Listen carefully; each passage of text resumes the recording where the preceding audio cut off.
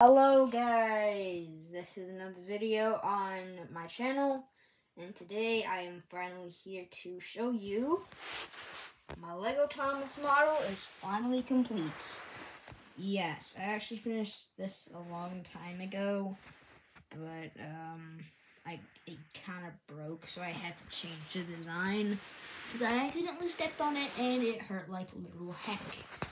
But yeah, as you can see, we got the side tanks, got the face, which I'm actually really proud of.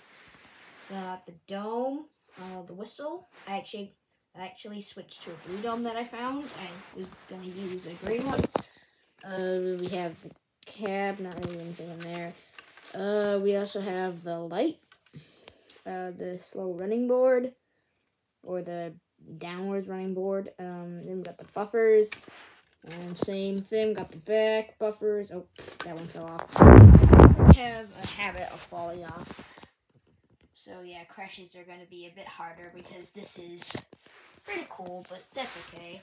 See you next time, and sorry that um videos have not been posting out. I just got back from my dad, so I didn't really have, and I couldn't really take my tablet, so I couldn't really post, but I'm back now, and I'm also almost starting high school. So yay! Woo!